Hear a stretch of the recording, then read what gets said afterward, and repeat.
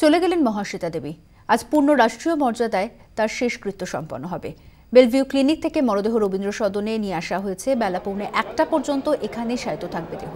দুপুর একটায় শুরু হবে প্রয়াত সাহিত্যিকের শেষ যাত্রা।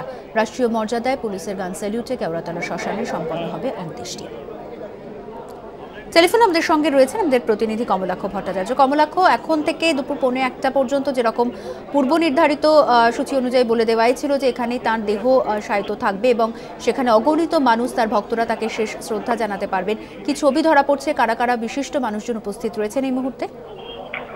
অর্পিতা, দেখো, অন্তিম শয়ানে সাহিত্য রয়েছেন। কেউ বলছেন বাংলা সাহিত্যের দেবী, কেউ বলছেন বাংলা সাহিত্যের মা, মহাশ্বেতা দেবী। এই মুহূর্তে রবীন্দ্র সদনের একেবারে ভেতরে সেখানে বিশেষ মর্যাদায় তার মরদেহ সাহিত্য রাখা রয়েছে এবং বিশিষ্ট মানুষজন ইতিমধ্যেই আসতে শুরু করছেন। রাজ্যের মন্ত্রীরা তো এসছেন, অরূপ বিশ্বাস আছেন আছেন শোভনদেব চট্টোপাধ্যায় এসেছেন, উষ্ণ তদারকিতে রয়েছেন ইন্দ্রনীল সেন এবং প্রচুর অগণিত মানুষ। মহাশ্বেতা দেবীর যে আত্মীয় স্বজন, যাদের আসার কথা ছিল, সকলেই চলে এসেছেন।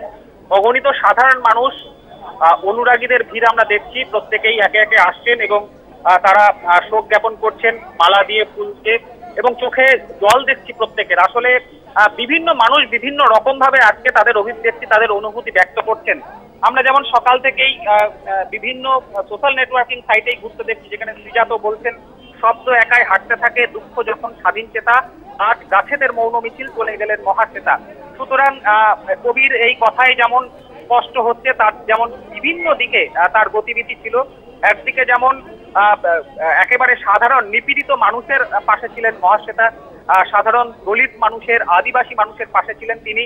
সেই জায়গা থেকে গোটা বাংলা তার গণ্ডি ছাড়িয়ে গোটা দেশের মানুষের কাছে কিন্তু আজকে একটা গভীর দুঃখের দিন।